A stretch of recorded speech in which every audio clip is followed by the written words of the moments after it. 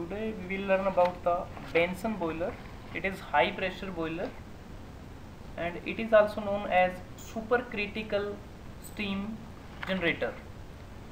So this is the first modern high pressure drumless boiler developed by the Benson was put into operation in 1927 in West Germany power station.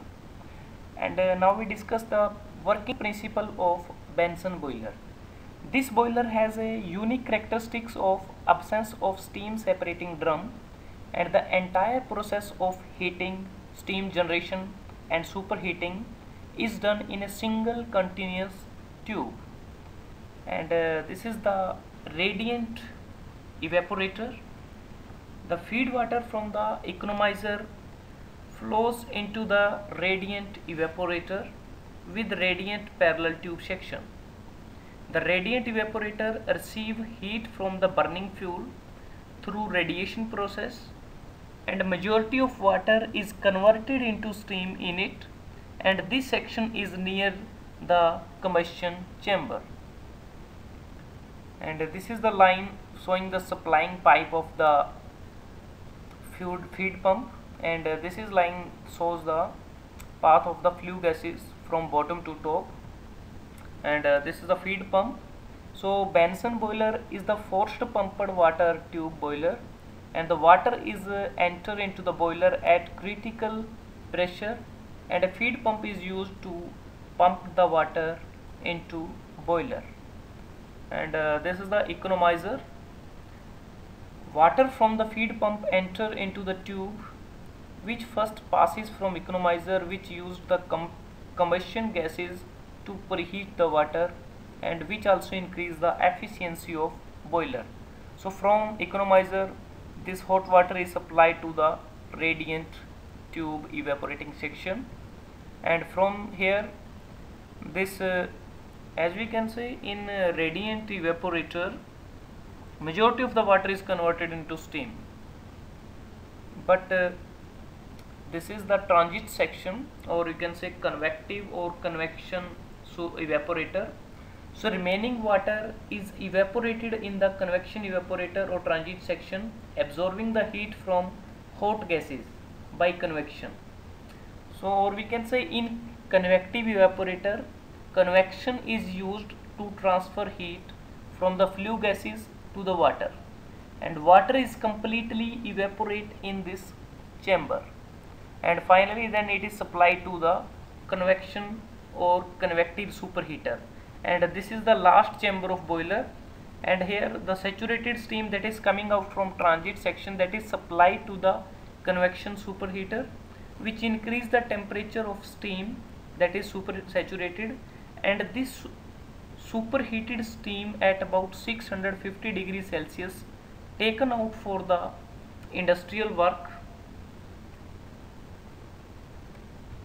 and finally it moves to the prime mover.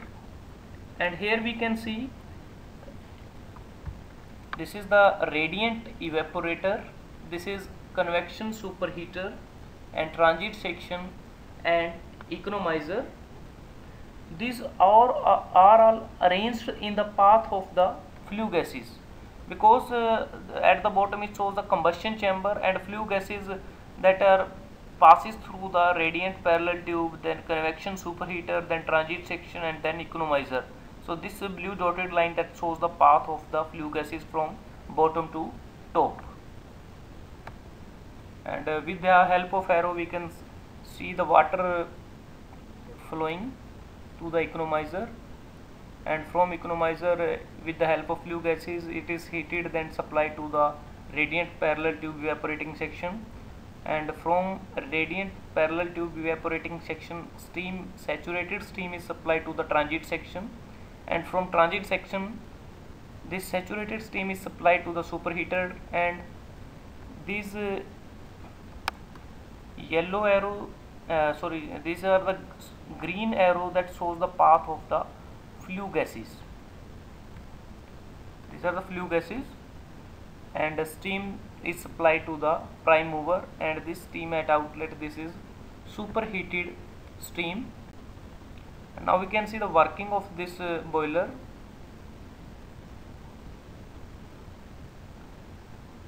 So I repeated again the working of Benson boiler. Water is pumped at, a, the, at above the critical pressure into the boiler tubes. And this water first passes through the economizer which increase the temperature of water. And this hot water further passes from radiant evaporator where water is evaporated by radiant heat transfer. After that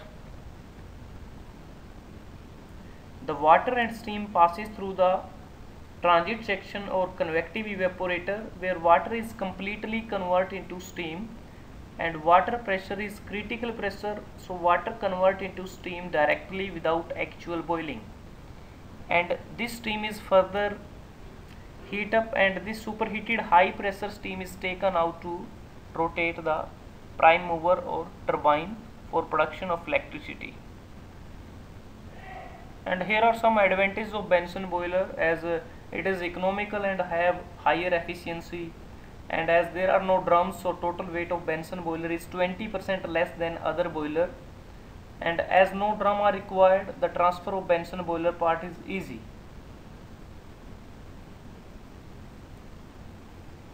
So today we learn about Benson boiler and its component and its working.